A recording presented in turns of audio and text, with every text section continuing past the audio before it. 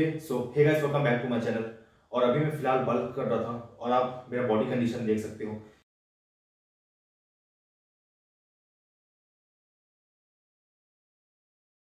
ये बल्क के स्टार्ट में मेरा एक मोटो था कि मुझे अपने अपर बैक और मिड बैक में एक थिकनेस ऐड करना है, जो कि मैं ऐड कर चुका हूँ, क्योंकि मैं पिछले छः महीने से एक बल्क पे था और अभी फ़िलहाल मुझे कट करने का टाइम आ चुका है। और आप मेरे बल्क देख सकते हो कि मैंने फैट बहुत ही ज़्यादा पुट ऑन किया है बट मसल्स भी बहुत सारे पुट ऑन किए हैं।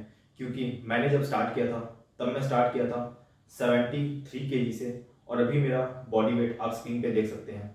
वैसे मैंने जब अपना बल्ब ख़त्म किया था तब मेरा पीक वेट था 89 पॉइंट समथिंग तो उसको आप करीबन 90 के मान सकते हैं।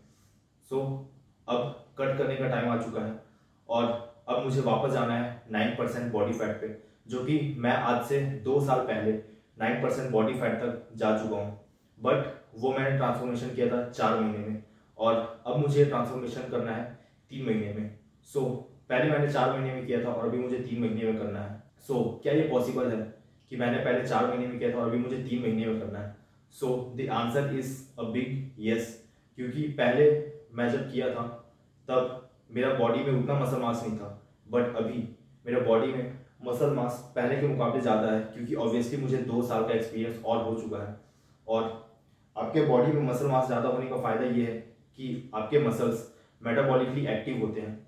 सो so, वो आपको मदद करते हैं कि आपका फैट लॉस फास्ट हो जाता है जब आपके बॉडी में मसल मास ज़्यादा होता है।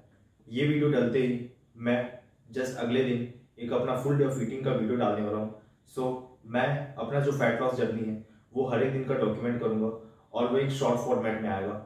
और हर हफ़्ते या हर दो हफ़्ते में मैं एक लॉन्ग फॉर्मेट वीडियो डालूँगा जिसमें कि मेरा बॉडी अपडेट आएगा। So stay tuned